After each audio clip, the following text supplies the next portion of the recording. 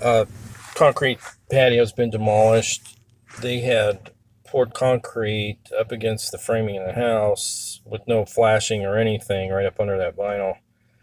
And it was trapping water and causing some rotting problems. So you can see that floor joists and the sill plate's pretty much gone. This is the one we're going to replace. So you get some of the siding out of the way so it can work.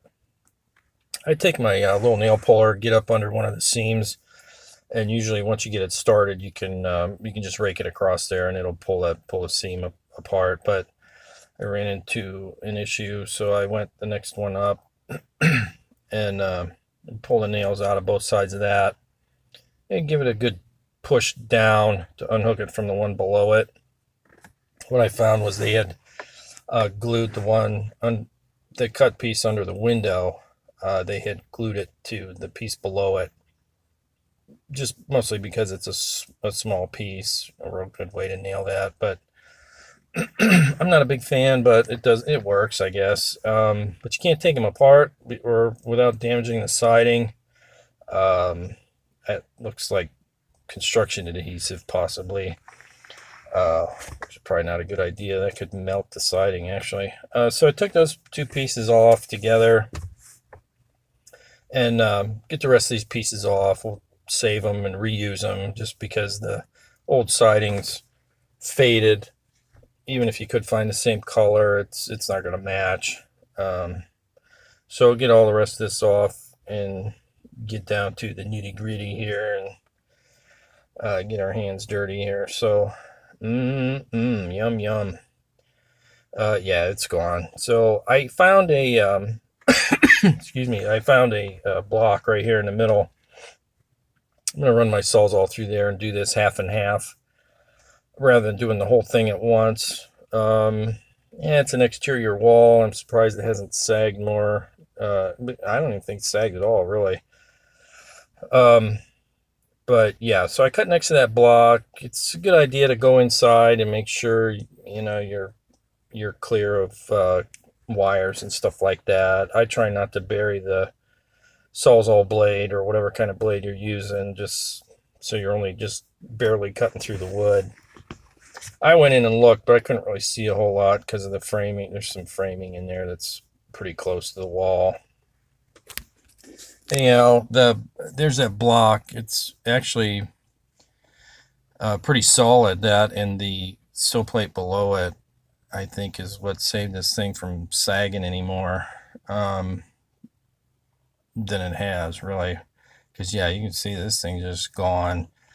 You can see the wires and stuff in there. So yeah, you got to be careful. There was a cable uh, stapled to the back side of the sill plate, and then you got the um, uh, sill plate straps. You got to get the nails out of those or cut them or something. Um, the sides all rusted off. Those straps hold the uh, sill plate to the masonry. And uh, get all that. I think I'm going to do half and half here. So I'll cut this half out. Like I said, the the block, it's solid back here. And, and uh, I, I think, I'm pretty sure that's probably what saved this thing from sinking. Um, so I'll do this first half on the left. I get it all cleaned off. And uh, get my sill plate in there and then we'll do the other half uh, get the rim in too and then we'll do the other half.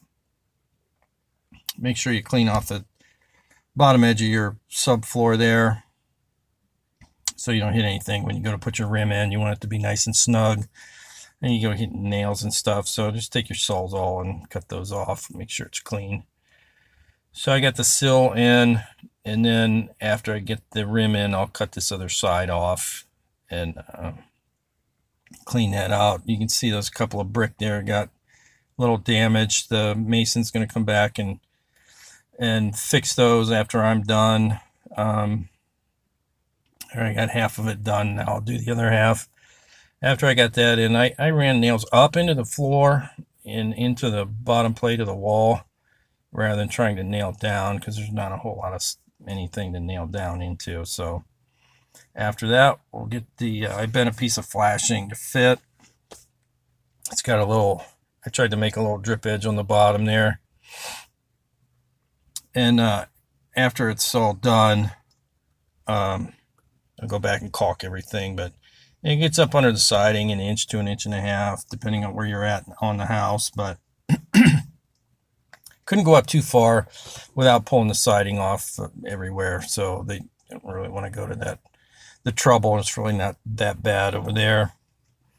Um, I did measure to the top of the J channel before I took it off so I could put it back where it was, make sure everything goes back good. So I snap a line there.